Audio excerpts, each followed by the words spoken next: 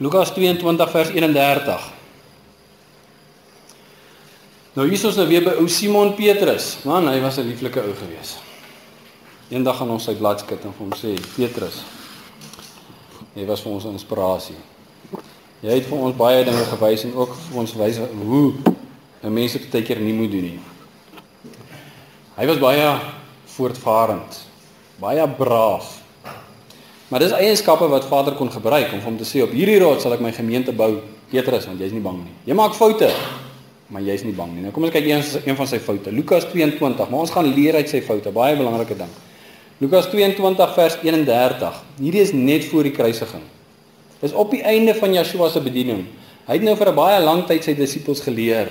Hulle het al daai kundigheid, maar hoor wat sê hulle? Wat wat sê hy vir Yeshua? Wat sê Yeshua vir hom? En Yeshua sê: Simon, Simon, kyk die Satan het vurig begeer om julle soos koring te sif. Maar ek het vir jou gebid dat jou geloof nie ophou nie. En as jy eendag bekeerd is, moet jy jou broers versterk. Nou sê hy vir Petrus, Petrus, eendag as jy bekeerd is, dan moet jy jou broers versterk. Wat sê Petrus? Hoe, meester, hoe bedoel jy nou? Ek is mos nou al lank al bekeerd. Ek weet mos nou hoe werk hierdie goeters.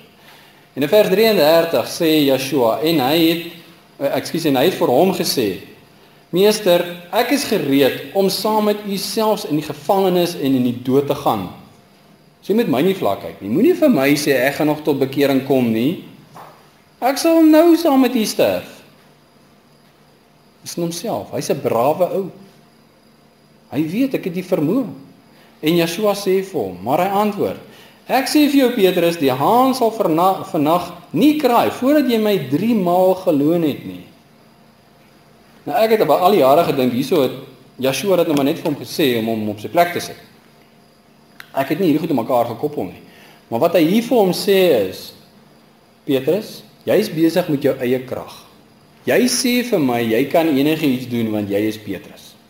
Jy weet hoe. Nou sê ek vir jou, eendag as jy bekeerd is, moet jy jou broers versterk, maar jy verstaan glad nie wat ek sê nie, want jy dink dit gaan oor jou. Jy dink jy het die vermoë. Maar kom ek wys jou jy het nie die vermoë nie. Dis nou vanaand en voor die haan môreoggend gaan krag, gaan jy my 3 maal verloon. Jy gaan nie saam my sterf nie, jy gaan nie saam my tronk toe gaan nie, jy gaan my verloon. Petrus sê, "Haai konna. Dit sal nie gebeur nie." Nou ons weet, die uiteinde het dit gedoen. En die doel daarvan is Joshua het vir Petrus gewys in jou is daar nie krag nie. Nou het ons net nou gelees van dieselfde Petrus wat vir ons die weg na saligheid uitgespel het. Heeltemal iemand anderste.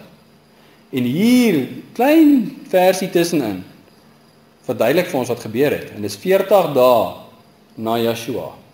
Hier staan in vers 32. B. En as jy eendag bekeerd is, moet jy jou broers versterk. Yeshua sê nie vir hom bekeer jou nie. Hy sê eendag. Hoekom? Want die lam is nie geslag nie. Die bloed is nie gevers nie. Dit het nog nie gebeur nie. Die gees was nog nie uitgestort nie. En Petrus is nog op sy eie.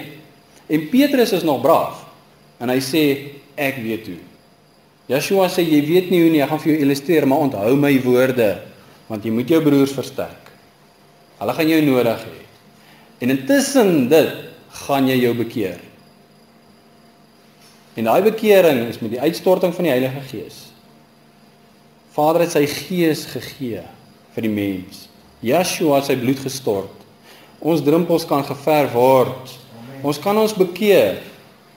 En ons kan ons doop en ons kan die gawe van die Heilige Gees ontvang. En dis waarvan hy hier praat. Petrus, as jy eendag bekeerd is en my gees ontvang het, sal jy 'n ander mens wees. En dis 40 dae later En Petrus is 'n ander mens.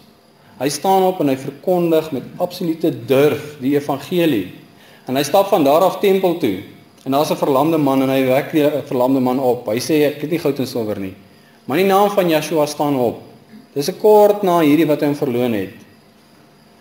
En die wêreldheersers, die baas van die kerk, sê jy kan nie dit doen nie. Jy meng in met ons ons organisasie, dan gooi jy hom in die tronk.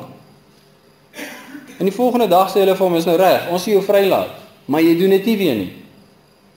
Dan gaan ons jou weer in die tronk gooi en ons gaan jou dadelik doodmaak. En hy sê, nou aan wie moet ek nou meer gehoorsaam wees? Aan julle of aan God? Slaan my maar, gooi my maar in die tronk, doen wat julle wil. Nou wat is die verskil? Heilige Gees.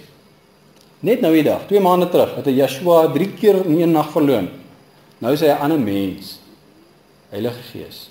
Die Gees, die gawe van die Gees, die belofte van die Heilige Gees is lewendig. Dis nie teorie nie, dis praktyk. Hy lewe, hy's 'n ander mens. Hy het die ou mens gesterf. Daai brawe, voorvarende ou wat Yeshua altyd moet gaan haal en terugbring en sê jy's haastig, kom terug. Hy's begrawe. Daar's 'n gees in hom. En Vader kan deur hom werk met sy gees.